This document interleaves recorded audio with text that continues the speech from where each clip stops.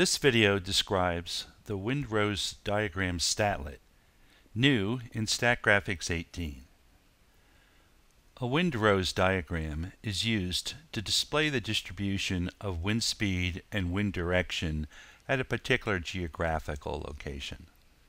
They're often used when positioning runways at an airport or locating wind turbines. In the windrose you see here, the 360 degrees of the compass have been divided into 16 divisions, each containing 22.5 degrees.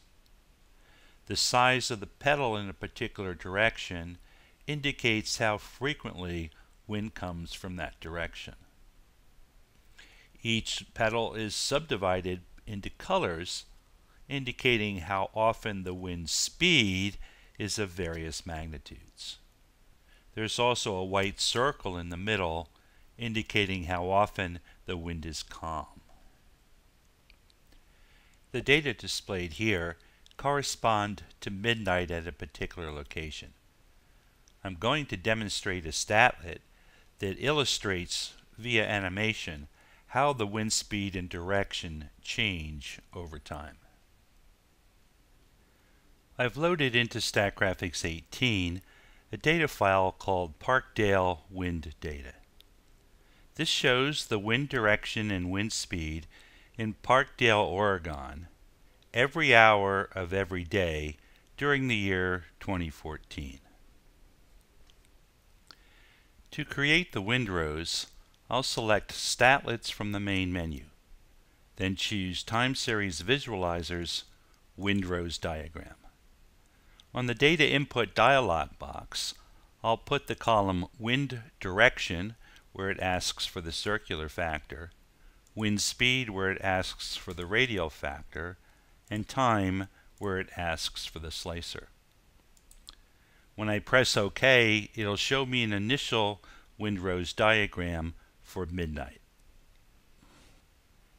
To better show the wind speeds, I'm going to right-click and choose Analysis Options. Where it asks for the radial division's lower class limits, I'm going to change them to 1, 3, 5, 7, and 9.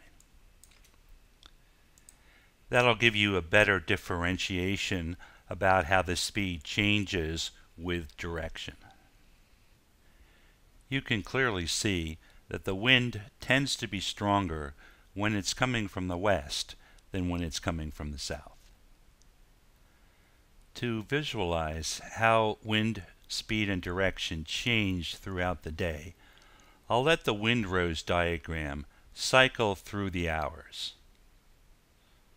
Notice how once you get to the early afternoon, the predominant wind direction is west rather than south. It also tends to be stronger in the early afternoon.